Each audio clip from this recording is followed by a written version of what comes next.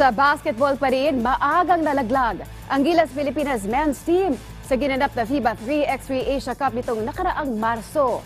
Hindi man nakasungkit ng panalo. Ibinahagi naman ni Gilas guard Almon Vosotros ang mga natutunan niya mula sa kanilang kampanya sa Singapore. Alamin natin yan dito sa ulat ni Darrell Oclares. Hindi tulad ng kanilang magandang performance noong nakaraang taon, naging kabaliktaran ang sinapit ng Gilas Pilipinas sa FIBA 3x3 Asia Cup matapos bigong maipanalo ang kanilang mga laro kontra sa Iran at Qatar. Isa sa mga inaasahang manlalaro ng Gilas ay si Almon Bosotros na gumawa ng ingay noong nakarang taon matapos ipasok ang game-winning shot laban sa top-seeded Mongolia. Sa panayam ng PTV Sports sa veteran guard, naniniwala siya na magsisilbing aral ang naging kampanya ng Gilas sa Singapore, lalo na't bago pa lamang ang kanilang kupunan. Uh, it was a great experience for us. Kasi yun, first time din namin maglaro together as a national team. But me and Samboy, of course, ano, as in, may, meron kami experience. Pero with Jory and Bates, uh, yun yung first international games namin together. And okay naman. As in, medyo na short lang. We lost, we lost to Iran and to Qatar. But I think yun yung magandang experience para sa amin para hindi kami mag-stop para mas marami kami matutunan for the next tournament.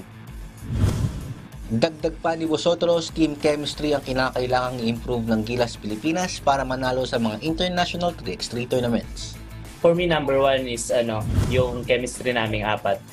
Yun pa yung kailangan namin. Parang kailangan masanay kami to play with each other, na, to play with each other na kailangan kabisado na namin yung mga galaw namin ng bawat isa uh, offensively and defensively. I think yun yung ano. Tapos yung mga yung mga strategy at the end, yung mga techniques, like kailangan matutunan namin yun, matutunan namin kagad. Kasi kung mapapansin nyo, natalo kami on the crucial part lang. Like, one minute left or the seconds. Nandun kami, pero pagdating ng one minute, parang na nabablanko kami or hindi kami nakipag, nakakapag-isip ng tama. So I think yun yung ano, yun yung kailangan namin i-develop.